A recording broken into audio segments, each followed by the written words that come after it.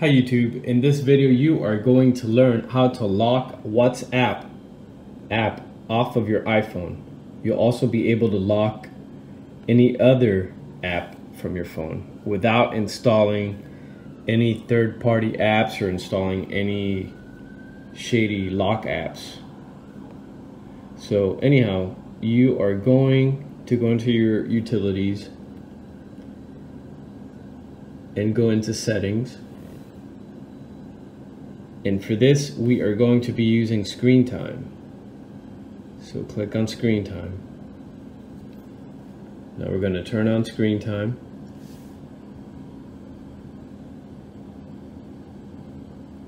You might already have screen time on. Okay. So, once you're on screen time, you are going to set up your password set screen time passcode, re-enter to confirm. Okay, now it's going to ask you for your Apple ID and all that good stuff.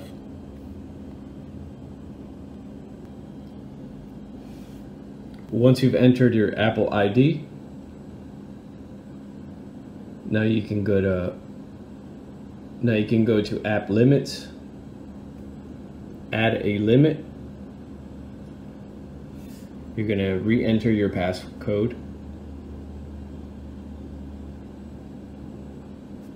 And from here, you can lock any app on your phone. So we're going to go into social networking and we are going to select WhatsApp for this example.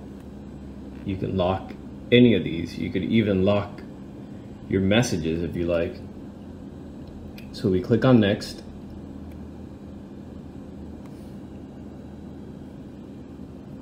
And you can't just set zero, unfortunately. So set it to one minute. And then we click on add up top. Click on add. So now app limits, WhatsApp setup,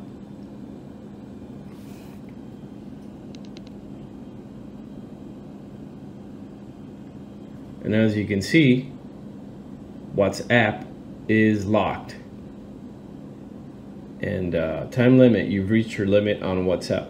So let's see. We can ask for more time. Let's see what happens.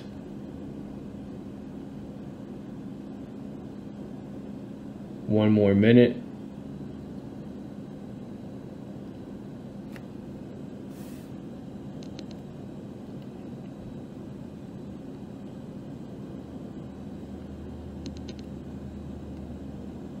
We gave it one minute. Let's try to log back into WhatsApp. So now let's see. Click on WhatsApp, time limit, ask for more time. Okay, now it's telling you that you need the passcode. So if someone didn't have the passcode, they would not be able to, so now you can approve for an hour, approve for 15 minutes, approve all day. So now you can use your app and it's going to get locked. So just be aware of the fact that you have to make sure that that minute that you set it up for is used and that you also use up